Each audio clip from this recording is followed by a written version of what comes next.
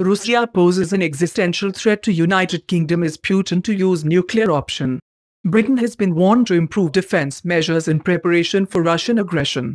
That leads to war, General Sir Richard Shirreff, the former Deputy Supreme Allied Command. Europe warned the UK of focusing too heavily on China as a threat and not Russia. While speaking on Times Radio, Sir Richard insisted Russia remained an existential threat.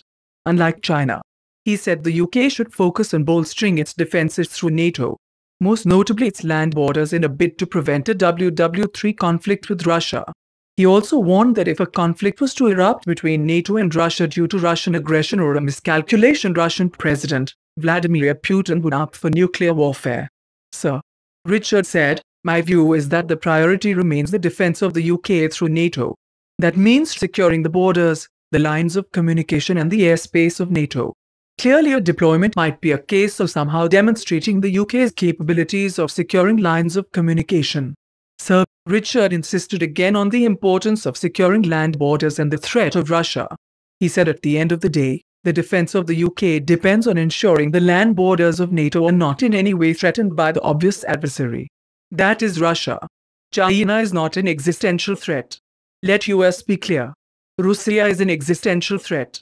If through miscalculation, Russian aggression or Russia impinging on NATO borders, it would be existential because it would be nuclear story. MP and Chairman of Parliament's Defence Committee Tobias Ellwood has repeatedly warned against the threat from Russia. While speaking on Talk Radio, Mr. Ellwood argued the West must join together in confronting the Russian leader. He warned small measures against Russia, like travel bans of diplomats would not deter the communist state however, he added an alliance between China and Russia could occur if the West is too stringent on the nation. Thanks for watching. Please help subscribe. See you on next video.